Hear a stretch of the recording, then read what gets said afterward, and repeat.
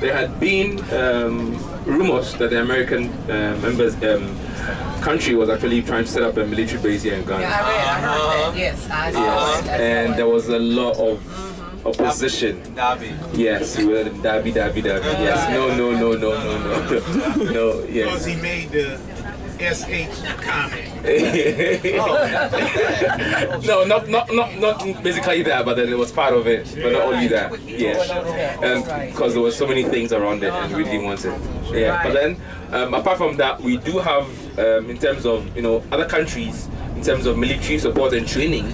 You have American coming here to train and also to learn from each other, and then we also train there and all that. So all these things are part of it. Yeah.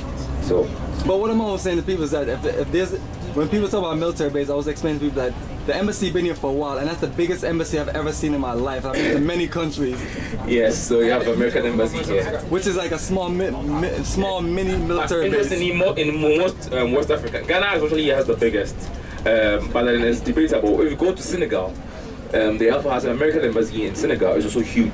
Yeah, and also yeah, the one in Benin. Those are the th- uh, Yeah. three that I know of directly. Yeah, they are huge, and you don't know what. uh, Yes, and it Why can do be you- a military base. So my thing is like, why do you need a big crazy. building like that to do embassy work? Because the Ghana embassy in Washington D.C. is very small.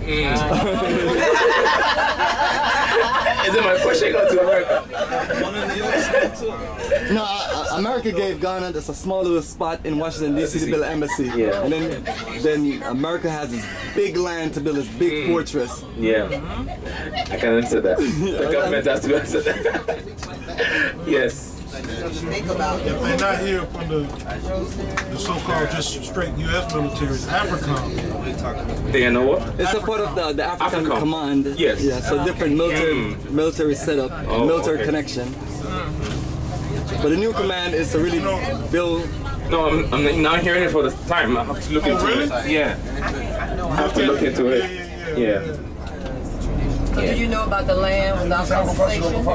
Land without You're taking compensation. the land without compensation. No, here you can't take a land without compensation. You haven't heard about that in Well, South I, Africa? no, here in Ghana. Uh, not here in Ghana, No. but in South Africa. Against the Constitution, right? Yes. And you know, honest with you, in South Africa, they're doing some of it. Is it they're, not, they're not going to get away with doing a whole bunch of land expropriation.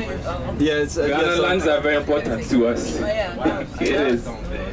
Yes. They, Ghana still gave up the, the parts of the building at the airport that the U.S. military wanted to do their little whatever they're doing. They still gave it to them, though, right? Donald? Ghana gave the, gave the U.S. that military. They wanted a site at the uh, at the airport. I think the U.S. still got it. Yeah, that's part of the, that's part of the agreement. Um, access to all, all ports, including airports and seaports. Why, your family members name call? Operation Takeover. Sorry, sorry. No, part of, part of the agreement is um, uh, US, the U.S. military get access to all ports, airports, uh, Yes, seaports, were- so they so They can can bring in their installments and stuff like that, tax free and all that. So these are some of the things that they were supposed to do. They were supposed to get So I think we have an agreement on that. But then it has not And I think it's a security set, setup because there's a bunch of crazy things going on with the far as so-called terrorism. So Yes. Ghana, I think Ghana's trying to play on the safe side and just connect themselves with someone who has a military backing that can give them help. That help. was one of the things that uh, yeah they they, they, they were think, talking about, um, and I don't know how far that's gone, because you know Ghana is has, has been is, is actually peaceful. We've not had any terrorist attack here, but neighboring countries like Burkina Faso, uh, Togo, Um, especially in the French countries, you hear terrorist attacks, and so we had to strengthen our borders and tighten up our security. So, and one of the things was supposed to go with America and try to increase security here. But then, you know, we always have to be careful when we're dealing with America. Yes. Yeah. So, They're supporters of the Go ahead.